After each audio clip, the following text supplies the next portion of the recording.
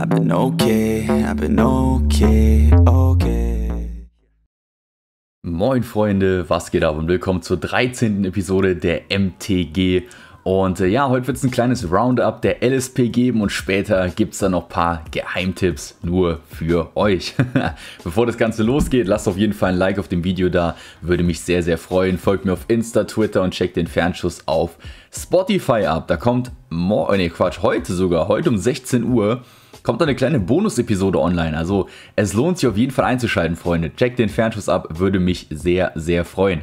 Ähm, ich kann ruhig spoilern, ähm, damit ihr auch ein bisschen hier angeteasert wird. Da werden alle oder aus jeder YouTube-Liga, ich habe ja quasi hier Community-Ligen, aus jeder dieser Community-Ligen wird es ähm, ja einen Teilnehmer in Anführungszeichen geben, der so ein bisschen die Liga repräsentiert, ein bisschen über seine Transfers redet und so weiter. Also ähm, es lohnt sich, es sind viele verschiedene coole Tipps dabei von vielen verschiedenen Manager-Stilen, was für euch auch sehr interessant ist, dass ihr auch mal ein paar andere Einblicke bekommt als nur die meinen. Genau. Das ist der Sinn des Podcasts, kommt wie gesagt heute um 16 Uhr auf allen Podcast-Medien, wo er verfügbar ist, online. Ja, meine LSP ähm, ihr seht erstmal mein Team. So werde ich voraussichtlich in den nächsten Spieltag reingehen, sollte sich nichts mehr ändern.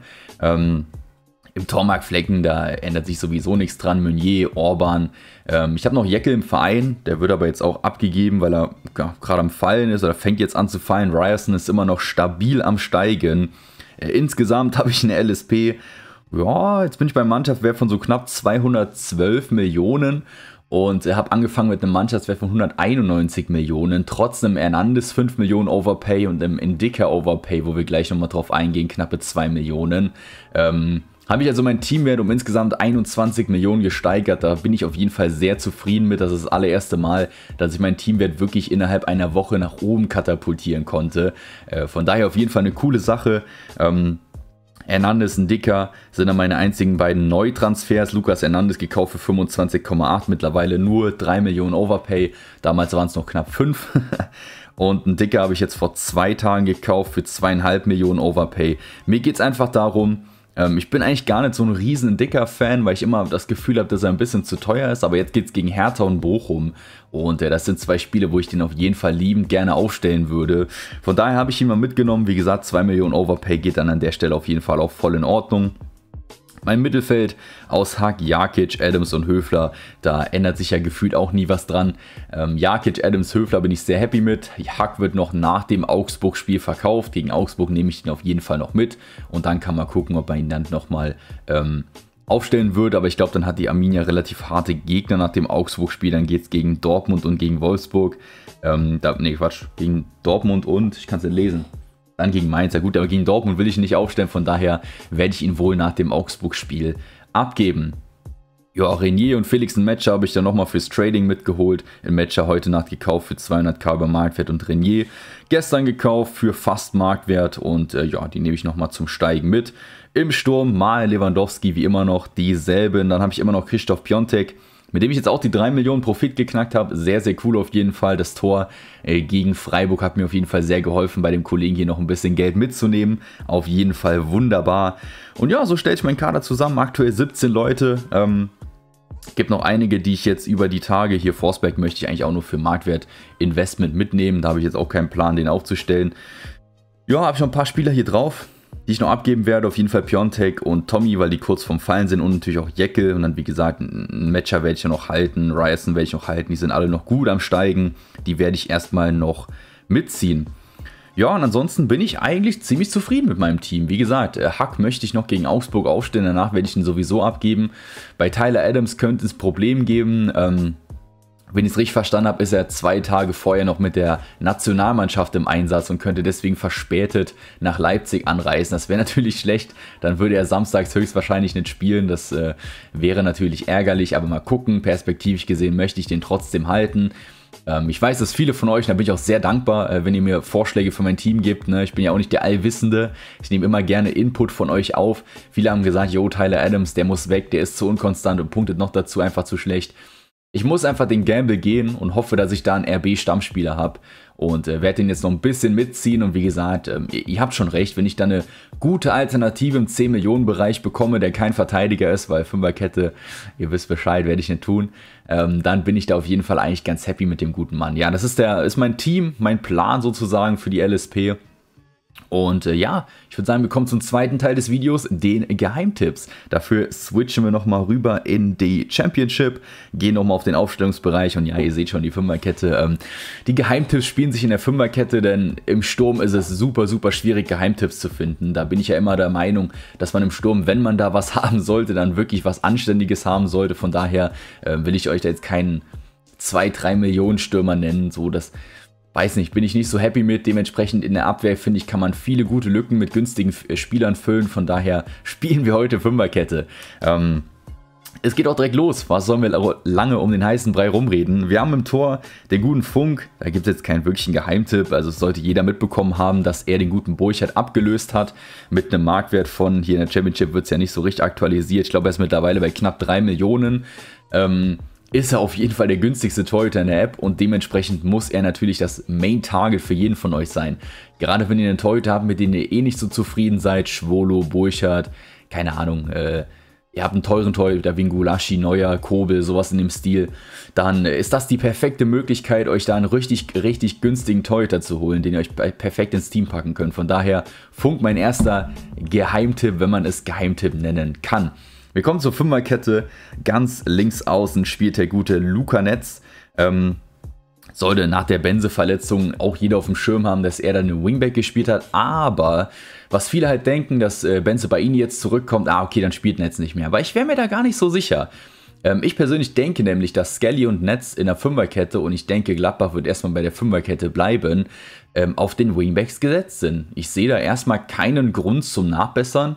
Äh, wir sollte ein Rami Benzebaini zurückkommen, was ja auch nicht zu 100% sicher ist, dann sehe ich den persönlich eher als linker Innenverteidiger in der Dreierkette, ähm, was er eigentlich auch gelernt hat. Also er ist ja gelernter Dreierketten linker Innenverteidiger sozusagen. Ähm, das heißt, Luca Netz wird auch spielen, wenn Benze zurück ist. Es sei denn, es findet eine Systemänderung statt, aber das kann ich mir beim besten Willen aktuell nicht vorstellen. Die haben mit zweimal Fünferkette gespielt, haben zweimal gewonnen gegen Wolfsburg und Dortmund. Warum sollte man jetzt zurück auf eine Viererkette gehen? Sehe ich persönlich nicht. Und von daher ähm, an alle Luca Netz-Besitzer oder diejenigen, die es noch werden wollen, ich persönlich kann den Typen immer noch zu 100% empfehlen und bin der Meinung, dass er weiterhin spielen wird. Er wäre für mich auf jeden Fall, gerade für die 7 Millionen, eine absolute Top-Personalie. Auf jeden Fall. Weiter geht's mit den Guten. ist jetzt auch nicht so mega geheim. Äh, Nico Schulz, keine Sorge, Freunde, die Geheimtipps, die richtigen Geheimtipps kommen noch. Ähm, ja, Nico Schulz wird wahrscheinlich Rafa vertreten und ist von daher für den Marktwert einfach ein absoluter Monsterstil. Äh, warum habe ich ihn hier dann mit reingenommen, wenn jeder weiß, dass er Rafa vertreten wird? Erstens ist so ein bisschen ähm, natürlich noch Debat äh, Debatte, ob er wirklich spielen wird. Äh, es kann natürlich auch sein, dass eine Dreierkette gespielt wird und dann Torgen Hazard diesen linken Wingback spielt. Es kann aber auch sein, dass einfach generell eine Dreierkette gespielt wird. Es kann sein, dass Emre Can die Position übernimmt. Ähm, für mich persönlich ist es alles komplett absurd. Meiner Meinung nach wird er definitiv Nico Schulz spielen. Er hat auch ganz gutes Lob bekommen. Es wurde auch so angedeutet, dass er mehr integriert werden soll. Und was wäre das denn bitte für ein Statement, wenn der einzige Linksverteidiger neben, neben Nico Schulz ausfällt und man nicht Nico Schulz spielen lässt? Von daher, ähm, ich persönlich sehe ihn safe gesetzt und wie gesagt, für den Marktwert als Dortmund-Verteidiger äh, alles, alles draufbuttern. Äh, Rafa wird mindestens mal drei, vier Spieltage ausfallen. Also ich würde mich nicht schlecht fühlen, wenn ich 8, 9 Millionen für Nico Schulz bezahlen würde. Ohne Probleme. Von daher nehmt ihn auf jeden Fall mit. Ich denke, der wird sich auf jeden Fall extrem lohnen. Neben Nico Schulz haben wir dann noch den guten Gamboa von Bochum. Mittlerweile auch ein bisschen mehr wert, als es hier in der Championship angezeigt wird. Ähm, ja, ganz einfach. Kommt von seiner Verletzung zurück. Ist nominell der beste Rechtsverteidiger, wenn man so nennen kann. Ähm, ist, glaube ich, auch gelernter Linksverteidiger, oder bin ich mir jetzt nicht so sicher, nagelt mich da nicht fest. Auf jeden Fall spielt er Rechtsverteidiger beim VfL, die Position, die einst dann noch Staphylidis und Bockhorn übernommen haben. Ähm, sowohl Staphylidis als auch Bockhorn sind jetzt, glaube ich, sogar verletzt. Also es führt eigentlich kein Weg an Gamboa vorbei. Von daher denke ich persönlich, gerade für den Marktwert ist auf jeden Fall eine absolut monströse Empfehlung. Würde ich auf jeden Fall mitnehmen. Und äh, wie gesagt, es ist zwar Bochum, aber gerade für den Marktwert günstiger kommt ihr eigentlich kaum an Verteidiger ran. Von daher da auf jeden Fall auch zuschlagen. Vierter Innenverteidiger, so viele Verteidiger, Freunde, da blutet mir das Herz, ist der gute Al-Mami Touré. Ähm, ist für mich, in Anführungszeichen, ich meine, viele von euch werden sagen, ja, den kenne ich ja schon, ja. Aber der ist so mega günstig und wenn man das zum Beispiel vergleicht mit einem Hinteregger und mit einem, Dick, einem Dicker, ähm, da macht ihr einen mega Stil. Wenn ihr euch jetzt schafft, den ins Team zu holen, ich glaube, er kostet 5,6 oder 5,7 Millionen Stand jetzt, ähm, ist einfach der gesetzte Dreierketten-Innenverteidiger neben den zwei eben genannten. Und wie gesagt, vor allem für den Preis ist es auf jeden Fall eine Empfehlung. Ich würde den zu 100% mitnehmen. Eintracht hat auch mega, mega leichte Gegner in den nächsten Spielen. Ähm, gerade in den wirklich nächsten zwei mit Hertha und Bochum würde ich den Kollegen auf jeden Fall eintüten, wenn ihr jetzt noch bekommen könnt. Ich bin, wie gesagt, vom Person, was heißt wie gesagt, ich bin von so Personalien wie einem Timothy Chandler, von einem Erik Dom und so weiter weggeblieben, weil mir das einfach alles zu unsicher ist. In einem Mami Touré sehe ich aber, egal ob in einer Dreier- oder einer Viererkette, safe gesetzt. Von daher, den würde ich auf jeden Fall mitnehmen. Es kann auch sein, dass er Wingback spielt und Tuta den anderen Innenverteidigerposten spielt. Das wäre sogar noch besser, weil er dann seine offensiven Impulse nochmal mehr zeigen kann. Ist aber auf jeden Fall eine ganz, ganz klare Kaufempfehlung. Der letzte ist der gute Paulo Ottavio. Ähm, werden auch viele mitbekommen haben, allein dadurch, dass er so arg am Steigen ist. Ähm, ja, aber was ich sagen will, es kann halt sein, dass er in den nächsten ein, zwei Spieltagen noch nicht spielen wird. Man weiß noch nicht, wie er zu seiner hundertprozentigen Belastung zurückkommt. Aber sobald der Kollege fit ist, sehe ich den zu 100% gesetzt. Jetzt werden viele sagen, ja klar, aber so klar ist das gar nicht. Also ich meine, du hast einen Roussillon, der immer noch bei 100% ist. Das kann Yannick Gerhardt spielen. Ähm, also auf der Position gibt es schon Konkurrenz und das wird man auch merken, wenn er zurückkommt, weil er noch ein bisschen rotiert werden wird. Aber eben perspektivisch sehe ich persönlich in Otavio unangefochten gesetzt. Roussillon hat einen katastrophalen Saisonstart und Yannick Gerhardt genießt irgendwie nicht das Vertrauen, was er vorher unter Glasner genossen hat bei Marc van Bommel. Von daher Otavio für mich felsenfest gesetzt und auf jeden Fall eine ganz, ganz klare Kaufempfehlung. Kommen wir auch zum Mittelfeld. Auf der linken Mittelfeldposition haben wir den guten Ecklenkamp.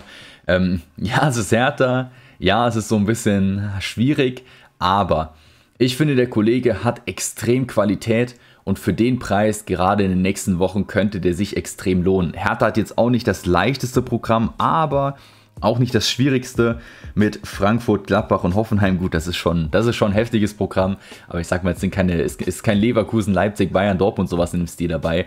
Ähm, von daher ist auf jeden Fall immer was drin und Ecklenkamp für mich qualitativ vielleicht sogar schon der höchstwertige Spieler bei, bei, der, äh, bei der Hertha im Kader.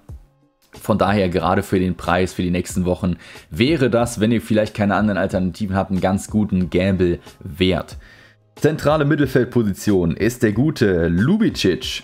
Ja, ich habe einen Kölner reingepackt, Wahnsinn. Ähm, mittlerweile auch ein bisschen günstiger als diese 8,4 Millionen, er ist auch ganz gut gefallen. Ja, was machen wir mit dem Kerl? Es ist halt schwierig. Ich habe zwar in den Kaufspecials gesagt, dass ich von der Position wegbleiben würde, weil ich da mit Duda, Thielmann und Lubicic halt einfach so ein Dauerduell sehe. Aber meine Theorie ist, Dortmund, äh Dortmund, Köln spielt jetzt gegen relativ starke Gegner. Es geht jetzt nochmal gegen Hoffenheim, was auch nominell ein starker Gegner ist. Und danach kommen noch zwei andere Brecher, die ich gerade nicht auswendig weiß. Ich glaube Bayer Leverkusen und noch ein Topverein. Und ähm, ja, gerade gegen Topvereine brauchst du natürlich äh, pressing-resistente Spieler.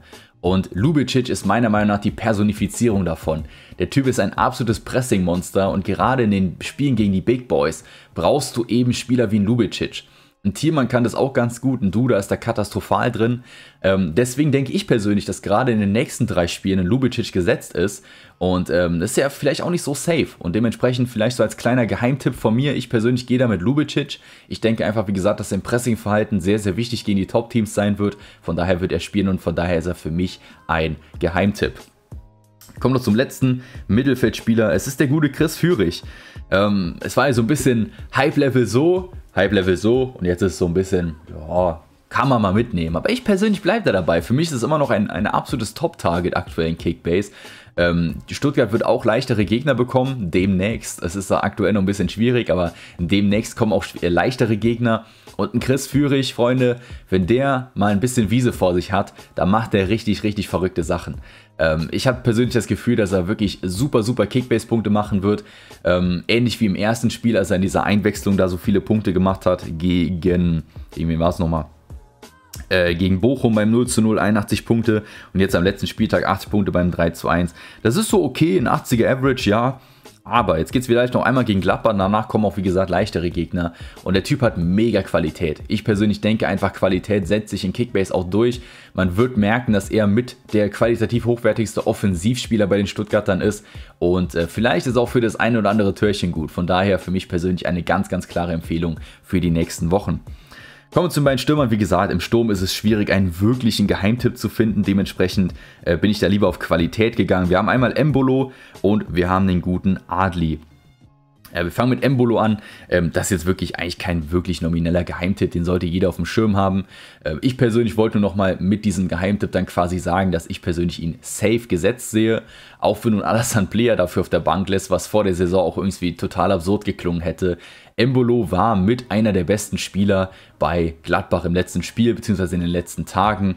Von daher, ich, ich persönlich sehe den safe gesetzt. Ich will persönlich auch auf jeden Fall gucken, dass ihr den in eurer Liga bekommt. Das ist ein absoluter Topspieler. Und ja, viel mehr gibt es eigentlich nicht zu sagen. Das erklärt sich von alleine. Gladbach hat ein super leichtes Programm. Schlagt da auf jeden Fall zu.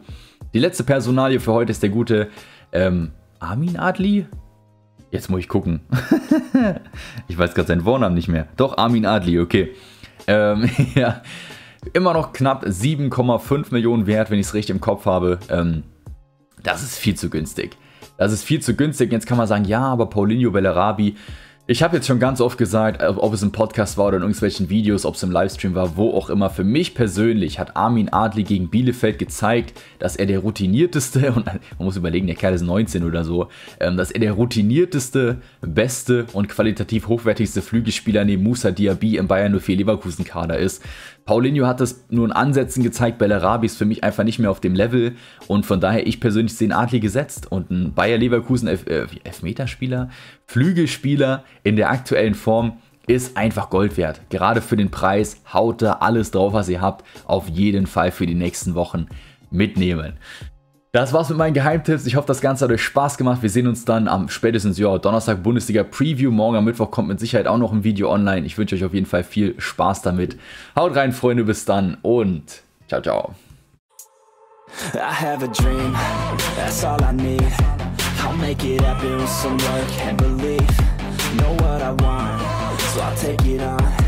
I've made mistakes, but mistakes make you strong. Let's break it down for a minute. I want the crown, I'm gon' get it. You hear me loud, man